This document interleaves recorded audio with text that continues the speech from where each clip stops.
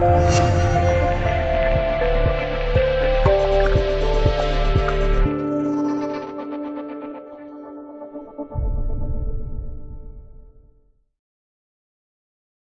者：虎符，图片来自网络，欢迎参与文尾延伸话题。七月二十六日，据环球时报报道称，马来西亚外交部长塞夫丁七月二十五日在国会表示，马来西亚政府将会在南海问题上更加强硬。不过，当有议员问及马来西亚海军会否派军舰前往南海争议区域，表明马来西亚虽然是个小国，也不会被欺负时，塞夫丁强调不会派军舰去南海，小国不会被中国欺负，除非自己去找欺负。作为东南亚国家，塞夫丁的发言反映了马来西亚在南海问题上的明确立场，那就是维护南海局势的稳定，维护中国在南海问题上的主导地位。这给一直在南海问题上兴风作浪的美国浇了盆冷水。本来还希望刚刚变天的马来西亚能在南海问题上搞出点动静来。当然，塞夫丁发表这番话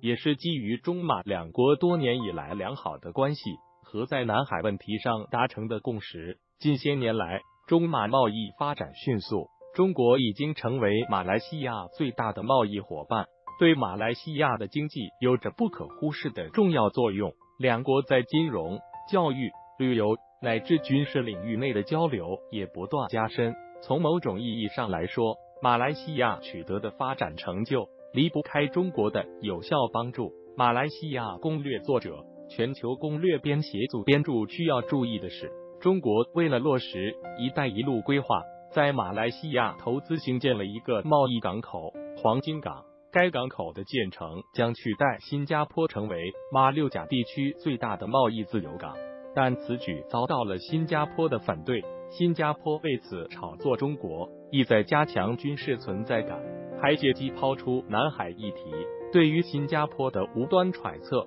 中国进行了有力驳斥。实际上，新加坡担心黄金港的建成将冲击其马六甲贸易地位，而在中国看来，建设此港主要是为了“一带一路”沿线经济发展。正是由于中国对马来西亚的巨大帮助，马来西亚在南海问题上一直谨言慎行，没有跟着其他国家乱来。尤其是在与中国的南海岛礁争议上，马来西亚始终根据一九八二年的联合国海洋法公约规定而小心行事，积极寻求与中国的友好磋商。随着南海各方行为准则的敲定，南海局势已经变得稳定平静。在这种背景下，马来西亚才发生，中国不会欺负我们，除非自己去找麻烦。无独有偶，菲律宾总统杜特尔特之前也曾发表过“如果派兵去南海等于自杀，人民会枪毙我的”言论。事实上，中国除了在外交上积极开展磋商，